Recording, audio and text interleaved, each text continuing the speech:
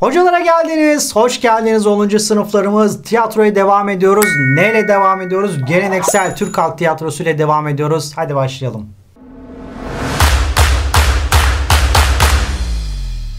Evet arkadaşlar geleneksel Türk Halk Tiyatrosu'nda ilk olarak Karagöz'le karşılaşıyoruz. Arkadaşlar Karagöz'ün bir diğer adı Hayali Zil, Hayal oyunu gibi isimler almıştır. Bunun haricinde aldığı başka isimler de vardır ama şimdilik bu iki tanesi bizim için yeterlidir arkadaşlar. Karagöz oyununu oynatanlara biliyorsunuz arkadaşlar. Karagöz'de böyle beyaz bir perde geriliyor. Arkadan ışık veriliyor. Ve orada bazı karakterler var. İşte Karagöz var, Hacivat var. Bunlar oynatılıyor. Gölge şeklinde yansıtılıyor. O yüzden gölge oyunu da deniyor. Ve bunu arkadaşlar e, oynatan kişileri de hayali ya da kara gözcü deniyor arkadaşlar. Hayalinin çırağına ise sandıkkar deniliyor. Bu sandıkkar ne yapıyor arkadaşlar? Ee, Karagöz'ün malzemelerinin bulunduğu sandığı taşıyor. Tabii ki arkadaşlar şimdi e, hayalinin çırağı sandıkkar dedik ama bunun da aşamaları var. Sandıkkar en alt aşaması. Bunu arkadaşlar başarıyla yaptıktan sonra belli bir süre sonra yardak oluyorsunuz. Yardakçı yani yardımcı manasında e, oluyorsun. Gelen yardaktan bahsediyoruz. Daha sonra da ustanız size tamam artık sen piştin bunu yapabilirsiniz derse ondan sonra artık hayali oluyorsunuz arkadaşlar. Diyelim sandıkkar bunun en alt basamağı yani birinci sınıf, ikinci sınıf, üçüncü sınıf gibi düşünebilirsiniz. E, ya da oyunlardaki bu günümüz tabiriyle level atlamak var ya her ne kadar kullan sevmesem de seviye atlamak. E, arkadaşlar ne yaparız? Hani atlıyorsunuz en son hayali oluyorsunuz. Yardak arkadaşlar ustanın yardımcısı aynı zamanda yanda şarkı ve türküleri okuyor. Bir de Darezen diye bir e, abimiz var. Bu da tef ve zili çalıyor arkadaşlar. Yani aslında e, neyse diyelim e, bandosu diyelim ya da işte müzik grubu diyebiliriz. Hayalinin yanında çalan ama destek olan ekipteki kişiler arkadaşlar bunlar. Oyunlarda müzik önemlidir arkadaşlar. Tep ve zil de bildiğiniz gibi zaten ne yapıyor? Mesela Karagöz kafa attığı zaman Hacivat'a tak tak tak oradan hemen ne yapıyor? Bir def çalıyor bir de zil çalıyor. Müzik önemli arkadaşlar. 19. Ee, yüzyıla kadar yazıya aktarılmamış bu eserler. 19. yüzyıldan itibaren yazıya aktarılmaya başlıyor. Neyse ki aktarılmış günümüze kadar ulaşmış arkadaşlar. Gerçi 19. yüzyıl dediğimiz zaten 1800 yıllar çok da eski değil. Ama yine de birçok eser günümüze kadar ulaşmış arkadaşlar. Tuliat yani doğaçlamaya dayanır bu eserler. Her ne kadar belli başlı oyunlar olsa da e, mesela ne vardır? Karagözlü Hacivat'ın başından geçen bir hadise vardır. Bunun repliklerini ya da işte replik demeyeyim karşılıklı konuşmaların, diyaloglarını hayali istediği gibi değiştirebilir. Ama dediğim gibi o yüzden doğaçlamaya dayanır diyoruz. Ama dediğim gibi başta böyle bir ana hatlarıyla oyunlar belirlenmiştir arkadaşlar. Kendi içinde bölümleri vardır. Bakalım bu bölümler hangileriymiş. İlk bölüm arkadaşlar mukaddime adı mukaddime giriş demek zaten. Görüntüden önce müzik veriliyor. Bu kısımda Hacivat semayı okuyarak sahneye geliyor. O fay hak diyerek sözlere başlıyor arkadaşlar. Ondan sonra muhavere söyleşme kısmı başlıyor. Burada da Hacivat e, yanına geliyor Karagöz'ün karşılıklı bir konuşuyorlar. Böyle bir aslında sizi ısındırıyorlar. Bir nevi hani hikaye romanda serim düğüm çözüm bölümleri var ya onun serim bölümü gibi düşünebilirsiniz bunu. Fasıl oyun kısmı arkadaşlar asıl oyunun geldiği kısımdır. Diğer tiplerde bu bölümde sahneye girer. Bakın karakterler ya da kahramanlar demedik tipler dedik arkadaşlar. Karagöz Hacivat'ta hep tipler vardır. Yani mesela e, balıkçı der bu klasik balıkçıları temsil eden şey pardon bunlar oyunlar. E, ne bileyim mesela Tuzsuz Deli Bekir der. O tarzda insanların ön plana çıkardır. Ya da Ermeni der toplumdaki Ermenileri temsilen o oyunda vardır. Rum keza öyle. Nedir arkadaşlar bunlar?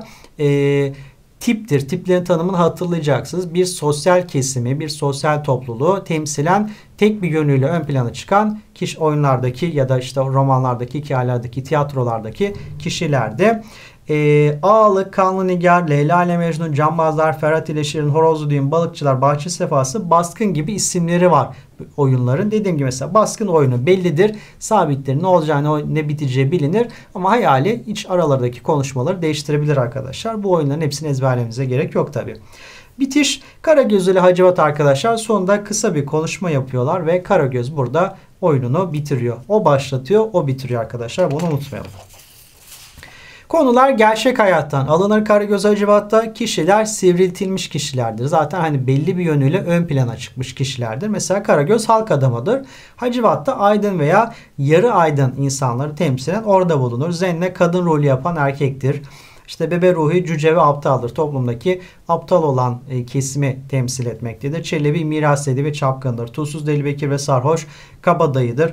Tiryaki laf ebesidir. Harputlu e, Kayserili gibiler Anadolu'dan, Arnavut, Acem gibiler Anadolu dışından gelenleri, Frank Yahudi Rum gibiler de azınlıkları temsil ederler arkadaşlar. Biraz önce dediğim gibi tipler ne yaparlar? Oyunda kendilerine yer bulurlar. Dedik ve Karagöz Hacivat'la alakalı genel bilgiler bunlar arkadaşlar yeterli. Daha sonra orta oyuna geliyor. Orta oyununda arkadaşlar kol oyunu, zuhuri, meydan oyunu, taklit oyunu gibi isimleri de vardır. Ama en yaygın olanı şeydir, e, orta oyunudur. Ya da biz kavuklu ya da kavuklu ve pi şeker adıyla da ne yaparız?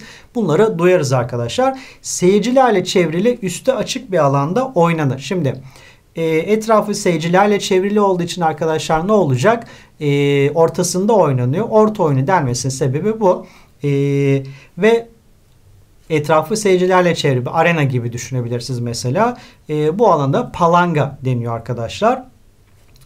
Palanga'da da bazı bölümler var. Kapı oyuncuların girip çıktığı kısım. Yani e, günümüz tiyatrosunda kulisten çıkıp sahneye geldiği kısmı e, buna benzetebiliriz. Sandık odası arkadaşlar pusat odası. Pusat silah demek biliyorsunuz. Günümüzün kulisi arkadaşlar. Yani e, oradaki adamların işte malzemeleri, kostümleri, elindeki dekorlar nedir? Onların silahıdır aynı zamanda. Hangi tıpkı alimin işte ya da öğretmenin silahı e, kalem olduğu gibi sanatçıların işte kostümleri de dekorları da silahlar oluyor. O yüzden pusat odası denmiştir. Günümüzün kulisidir arkadaşlar bu. Çalgıcıların yeri müzisyenlerin oturduğu kısım. Müzik burada da önemlidir. Ama Karagöz Hacivat kadar ön planda değildir arkadaşlar. Dükkan Kavuklu'nun dükkanı olan paravandır. Şimdi orta oyunda e, dekor sadedir. Bir paravan koyarlar ve burası dükkandır. Başka bir para, paravan konur. 2-3 iskemle konur. Burası da yeni dünyadır arkadaşlar. E, Kavuklu'nun dükkanında hadiseler gerçekleşir. Bir kısmı da yeni dünyanın içinde gerçekleşir. Kafes kadın seyircilerin oturduğu kısımdır. Biliyorsunuz namahrem e, hadisesinden dolayı kadınlar biraz daha geri planda duruyorlar. E, yüzleri görünmeyecek şekilde ne yapıyorlar?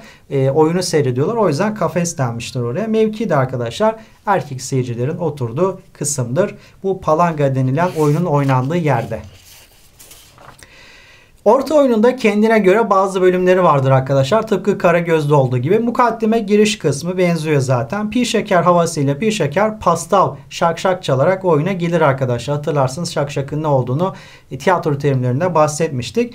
Oyun adını söyler sonra kavuklu havası çalar kavukla girer. Gördüğünüz gibi arkadaşlar müzik yine de ne var? E, Karagöz kadar olmasa yine burada da önemli e, pi şeker havası çalıyor, pi şeker geliyor. Kavuklu havası çalıyor, kavuklu geliyor. Bu her yerde de sabittir arkadaşlar. Yani kavukluyu oynayan kişi müziği çaldığında sıranın kendisi geldiğini bilip sahneye gelir arkadaşlar.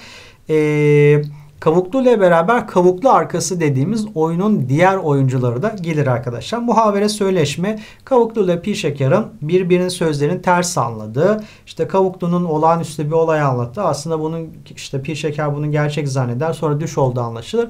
Böyle standart bir bölümü vardır. Bu bölümde ne olur? Bu bölüme de muhavere söyleşme yani karşılıklı bir söyleşme söz konusudur arkadaşlar. Orada eklimi, eklimi biraz elimi biraz ellerimi biraz buradan uzak tutmaya çalışıyorum. Ekran görüntüsü alan arkadaşlarımız için. Fasıl oyun bölümü de oyunun asıl bölümüdür arkadaşlar. Tıpkı Karagöz'de olduğu gibi. Bunun da işte hamam, çeşme, kunduracı, yazıcı oyunu, terzi oyunu, eskici abdi gibi isimleri var. Daha başka isimleri de var. Biz bir kısmını aldık. Bunu da yine hepsini ezberlemenize gerek yok arkadaşlar. Ne yapıyoruz? İşte e, diyelim kavuklu ve pi şekeri canlandıran işte orta oyun oyuncuları yazıcı oyunu oynayacaklar. Pi şeker girer. Sonra kavuklu ve arkası girer. Bunlar karşılıklı konuşmasını yaparlar. Sonra yazıcı oyununda kim varsa ne varsa ne oynanıyorsa bunlar oynanır arkadaşlar. Bitişte oyunun sonu adı üstünde bitiş zaten. Pi şeker her ne kadar sürçülisan ettikse affola der ve oyunu bitirir arkadaşlar. Burada da kişiler yine sivriltilmiş tek yönüyle ön plana çıkan biraz abartı tiplerdir arkadaşlar. Oyundan oyuna değişiklik göstermez. Yani bu bölümde Tuzsuz Deli Bekir Halim, Halim Selim mülayim bir adamken Karagöz'den bahsediyorum mesela. Burada da aynı durum söz konusu. Bir sonraki bölümde işte tövbe etmiş e, çok iyi niyetli, nazik bir insan haline dönüşmez arkadaşlar. Pir şeker Hacivat'ın, Kavuklu da Karagöz'ün karşılığıdır. İkisini kıyaslayacak olursak. Oyunlarda Laz gevezeciliği, Yahudi paraya düşkünlüğü, Acem abartıcılığı temsil eder arkadaşlar. Gördüğünüz gibi yine buradaki oyuncular, kişiler, tipler daha doğrusu tek yönüyle ön plana çıkıyorlar. Burada yine kadın kılına girenlere zenne dönüyor arkadaşlar. Diğer tiplere de taklit deniyor. Karazdaki gibi, Karagöz'deki gibi Arnavut, Zorba, Cüce, Mirasidi, Tiraki, Sarhoş gibi tipler arkadaşlar taklitlerde yer alır. Bunlar yine taklit edilir. Tip halinde oyunlarda kendilerine yer bulurlar. Daha sonra meddah geliyor arkadaşlar. Meddah kendi yöntemleriyle hikaye anlatan kişilere biz meddah diyoruz arkadaşlar. Daha sonra oyunun adı artık meddah oluyor. Daha önceden oyuna ne dendiği e, kesin olarak bilinmiyor arkadaşlar. Bu meddahın nesi var arkadaşlar? Bir tane mendili, bir tane bastonu var. Takkesi var. Ee, bazen takki da olmuyor hatta mendil, baston ve bir tane taburesi oluyor. Sandalye yazmışız ama daha çok tabure tabii ki. E, ne yapıyor arkadaşlar? Bu mendilini işte bazen işte dilencilik taklidi yapıyorsa önüne koyuyor. Başına örtüyor, şapka yapıyor. işte yüzüne kapatıyor, kadın oluyor. Bastonunu işte şemsiye yapıyor. Başka şekilde kullanıyor. Bu üç parça eşyayı e, anlattığı olaya, hikayeye uygun şekilde kullanıyor arkadaşlar. Anlattığı hikayeler arkadaşlar gerçekçi hikayelerdir. Halk arasında dolaşan, e, hikayeleri, tarihi olayları ya da kendisine tanık olduğu olayları arkadaşlar hikayeleştirir. Bunları karşısındaki seyirciye anlatır meddahlarımız. Aslında hani günümüzdeki bu stand-up vesaire stand-upçılar var ya onlar bir nevi meddahtır deniyor biliyorsunuz. Tabi bunların amacı aslında güldürmek. Meddah her zaman güldürmeyi hedeflemiyor arkadaşlar. Yine meddahın da kendi bölümleri var. Başlangıç hak dostum hak diyerek meddahın oyuna başladığı bölüm arkadaşlar. Açıklama anlatacağı hikaye hakkında bir açıklama yapıyor. Senaryo işte asıl e, hikayeyi anlattığı kısım bitişte olayın bittiği bölüm arkadaşlar. Metta hatalar için özür diliyor ve çıkarılacak dersler veriyor. Burada kıssadan hisse aynı Fable'da olduğu gibi çıkarılacak olayları anlatıyor, bizlere söylüyor ve sahneden iniyor sahneye e, hikayesinin olayını bitiriyor arkadaşlar. Son olarak da köy seyirlik oyunları geliyor arkadaşlar. Şimdi e, diğerlerinin belli başlı kuralları vardı. İşte Meddah olsun, Karagöz Hacivat olsun, e, orta oyun olsun. Bunların az çok anlatılan şeyler, oynanan oyunlar birbirine yakın, yöreden yöreye çok da fazla değişmeyen şeyler arkadaşlar. Ama köy seyirlik oyunları o şekilde değil. Adı üstünde köy seyirlik oyunları. Yani A köyünde başka bir oyun oynarken B köyünde başka oyunlar oynanabilir. YouTube'da ya da işte e, sosyal medyadaki bazı hesaplarda arkadaşlar farklı yerlerde işte köylerde oynanan işte erkeklerin birbirine sertçe vurduğu değişik oyunlar vardır. Bunlar köy seyirlik oyunlarıdır. E, Karagöz Metta orta oyun kentlerde gelişiyor daha çok ama kırsal kesimde köy seyirlik oyunları yaygınlaşıyor, yayılıyor. Tabi buralarda Kar, Karagöz Metta ve orta oyun oynanmıyor mu? Oynandığı yerler var tabii ki. Bunlar bayramlarda, düğünlerde, özel günlerde ya da işte ne bileyim bağ bozumu olur ya da başka bir şey olur. Böyle e, bütün köyü ilgilendiren durumlarda genellikle kendi aralarında sözlü sözsüz oyunlar oynuyorlar. Bu bazen şakalaşma şeklinde oluyor. Bazen tiyatro gibi oluyor değişiklik gösteriyor arkadaşlar. Her yerde oynanabiliyor. Yani bunun için bir sahne vesaire gerek yok. Evin bahçesinde ne bileyim damın üstünde oynanabiliyor. Kostüm ve dekor yok. Burada taklit daha çok önemli. Hatta benim düğün benim halalarım e, köy selik oyunlarında hani işte babamın doğduğu köyde aranan tiplerdir. Hatta her ne kadar köyüm şey düğünüm köyde olmasa da e, memleketimizden gelen akrabalarla vesaire evimizde böyle bu köyselik oyunların benzerini yapmışlardı. Yani benzerini değil bizim yörenin işte Çorum Ortaköy'lüyüm aslında. Oranın o yöreye uygun şekilde arkadaşlar köyselik oyunlarını yapmışlardı.